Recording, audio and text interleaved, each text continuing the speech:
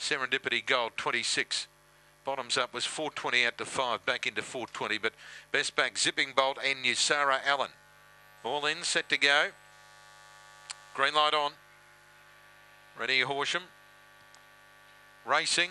Last out, zipping bolt. All in mishap won the start. Stavros going out fast and going up on the rail. Bottoms up to take the lead now. Off all in mishap, followed by Stavros. Around them, see your mate. Zipping bolt running on. Followed by Serendipity Gold. Well back as Seabrook Gem, Sarah Allen. Last Stavros on the turn. Bottoms up, still the leader. To all in mishap. See your mate running on, but bottoms up turned in front. All in mishap winding up down the centre. Bottoms up's got a good break though. Holding all in mishap and bottoms up beats all in mishap. Third, see mate. Fourth, Sarah Allen. And they finished well clear to Stavros, Serendipity Gold, Seabrook Gem, and Zipping Bolt tailing out at the finish, 27.53 the run.